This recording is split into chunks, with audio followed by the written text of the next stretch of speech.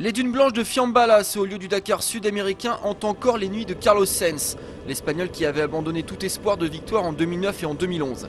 Et cette étape numéro 5 passe une nouvelle fois par ses pentes de sable. Au programme aujourd'hui, 151 km pour les motos contre 246 pour les voitures.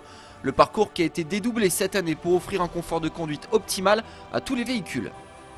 Chez les voitures, le duel annoncé entre Mini et Hummer tient pour l'instant toutes ses promesses. Hier, ce sont les pilotes de la firme allemande qui se sont illustrés. Stéphane Peter Hansel qui a même pris la tête du général, bien aidé c'est vrai par les malheurs de Nasser Al-Attiyah. Mais aujourd'hui est un autre jour. Au premier point de contrôle, le Qatari est en tête, devant Christophe Olokchik et son équipier Robbie Gordon. Derrière, Stéphane Peter Hansel gère tranquillement son avance. Le Français passe en quatrième position à 2 minutes 37 d'Alatia.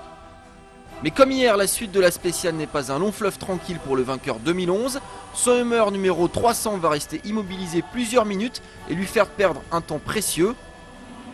Une aubaine pour les pilotes Countryman. À l'arrivée à Fiambala, c'est Christophe Olopchik qui s'adjuge cette cinquième étape.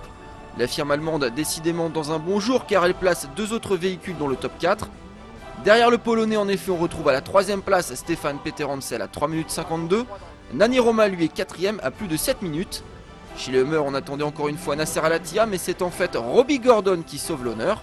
L'Américain se classe deuxième à seulement 1 minute 01 du meilleur temps de Holopchik. Au classement général, Stéphane Peter est toujours leader. Chez les autos, il y a le duel fratricide entre Mini et Hummer. Chez les motos, par contre, cela se limite à une bataille entre KTM, celle de Cyril Després et Marc Coma. Au départ ce matin, c'est le Français qui mène la danse, tout en haut du classement général depuis deux jours.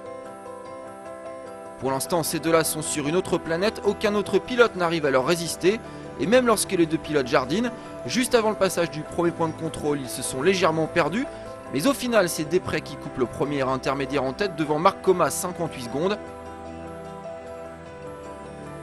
À l'arrivée à Fiambala, pas de changement, le duo est toujours là. Cyril Després s'impose après avoir passé une grande partie de la spéciale dans la route de son adversaire.